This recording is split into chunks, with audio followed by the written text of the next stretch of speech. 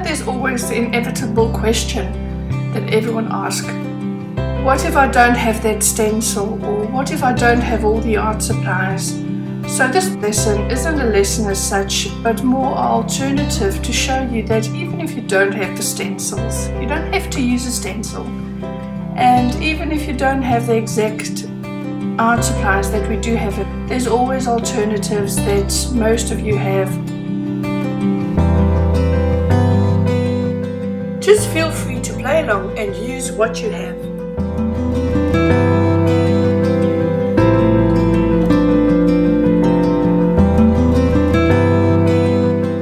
What I'm doing here is I'm just going to build up a background, filling my whole white space with different papers from my paper stash. You could of course also use the new collage papers I have in my signature collection or make some lovely collage papers with stencils if you have the supplies. I'm using the fluid matte medium to paste this all down. What I'm going to use next is I'm going to use a bit of heavy body white acrylic paint and I'm just going to give it a very very very thin coat of white like a white wash over it just to tame the background.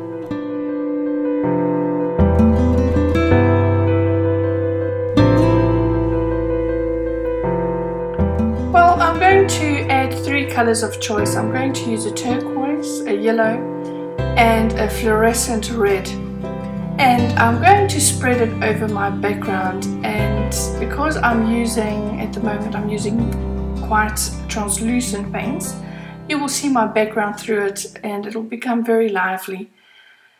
The paint that I'm using here is the fluorescent red and that is actually a soft body paint that I've decanted and you will see it's a bit more opaque than the others, although the neons are not really opaque, but it is a thicker paint.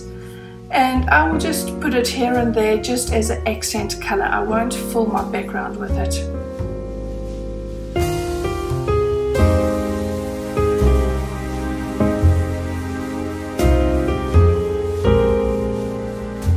Make sure you let the background dry before going on.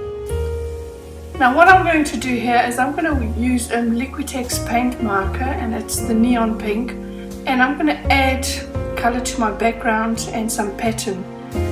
I will color in pieces and I'll use my finger to just rub it out and to soften the look of it. And it can be circles, it can be line work, it can be anything that you add just try uh, try a few things and you will see that what works best for you.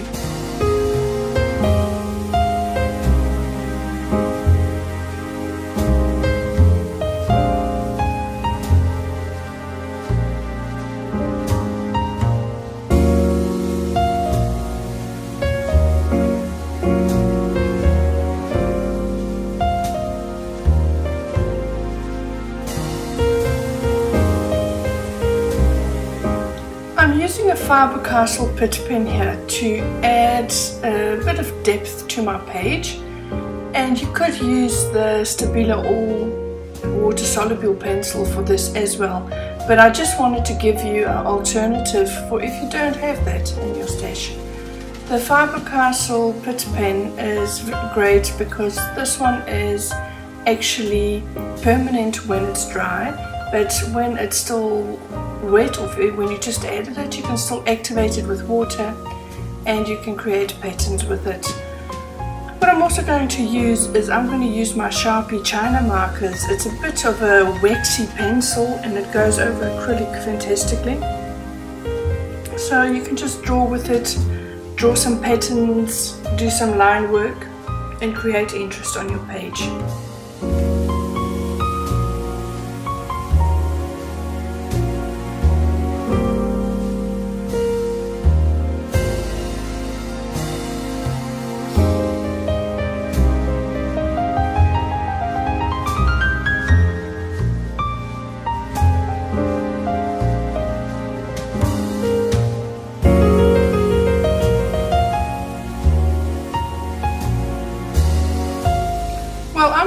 Add some white and there's always on my pages I love finishing it off with a bit of white just to give it a sparkle and to just create a highlight here and there.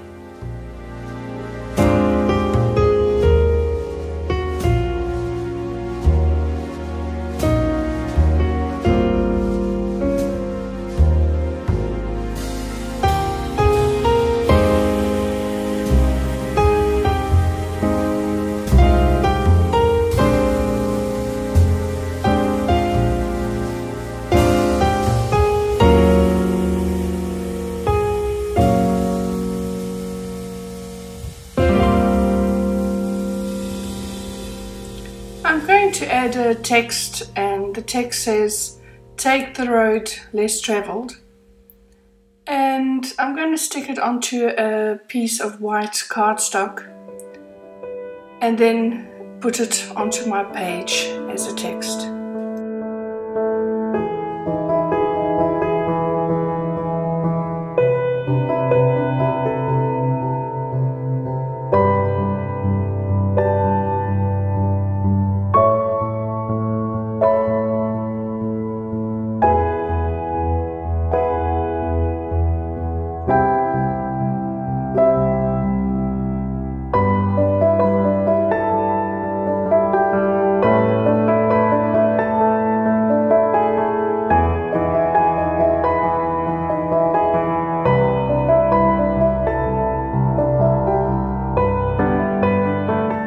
Feel free to use any texture or to add anything else that you want to onto your page. This lesson was just an extra and this is something that you can do when you get back home from holiday and you've got all your supplies together just to, to give your this lesson a different twist. I would love to see what you make and I really hope you enjoyed this bonus lesson as well. Thank you very much. Bye bye.